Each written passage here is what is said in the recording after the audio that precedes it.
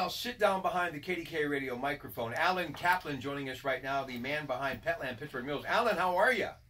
I'm good, thanks.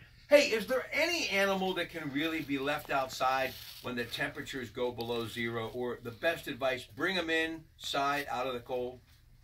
Oh, absolutely bring them in out of the cold. Never leave anyone out there in this frigid weather we're expecting. It'd be horrible. All right. And speaking of ready for the weather, Nan, please show your beautiful boots to the audience.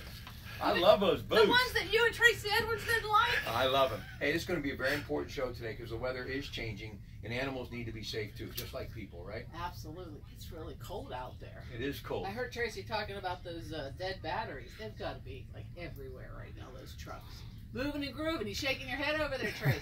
I'm going to jumpstart the batteries of this wonderful radio show in just a couple of moments because we're about set to go to the air. It is Alan Kaplan, Petland Pittsburgh Mills, and she's Nan Cohen. Nan Cohen, Total Talk. KDKA Radio. Good afternoon.